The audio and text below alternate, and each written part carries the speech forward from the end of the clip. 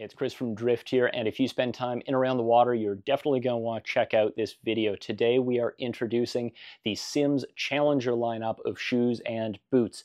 These are a great fully waterproof lineup of footwear options for you, from walking the dog to fishing to hiking, garden work, whatever it is, you're definitely going to want to take a look at them. Stick around to the end of the video because we are going to cover the Challenger boot last, and that is going to be of great interest to any of you steelheaders or river anglers.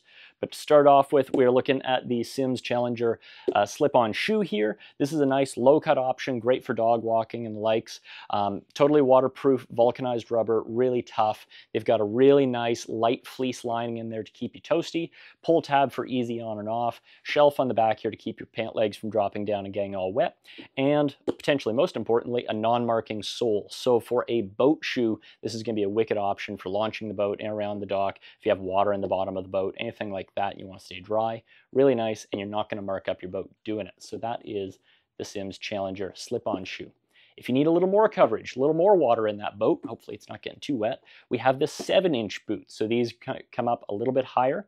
And what's nice about them, they have all the same features, but the top here is a neoprene cuff, so it's a really nice, soft, flexible material. It's going to articulate with you as you're walking, not feel real stiff and rigid, super comfy. Again, non-marking sole, wicked option for a little more coverage.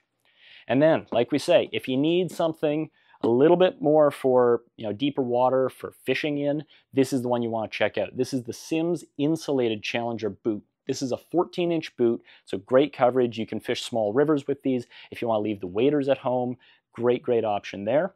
Um, and what's cool about these is that they are insulated a little bit more fully. So you do have that light fleece lining, but you also have seven millimeters of neoprene insulation through the boot to keep you really nice and toasty. So right through the winter, this is gonna be a very comfortable boot for you.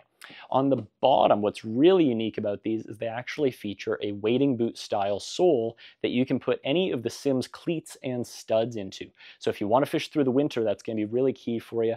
These will take all your cleats and studs, give you great traction out there. If you look at the upper of the boot, you'll also see that has a similar sort of tiered system uh, as the 7-inch boot for maximum flexibility. So you have a real nice heavy rubber bottom, but then you actually have a thinner rubber uh, in between here, which transitions then nicely into a neoprene uh, top, which again is going to give great flexibility in the top and great durability in the bottom here. Again, pull tab for easy on and off, the shelf, the whole bit. Terrific boot. If you're looking for an option that doesn't require you suiting up in full waders every time that you hit smaller steelhead trout rivers, definitely check this thing out. It's going to be a great seller. You can find all these boots in shop and online. We'll see you on the water.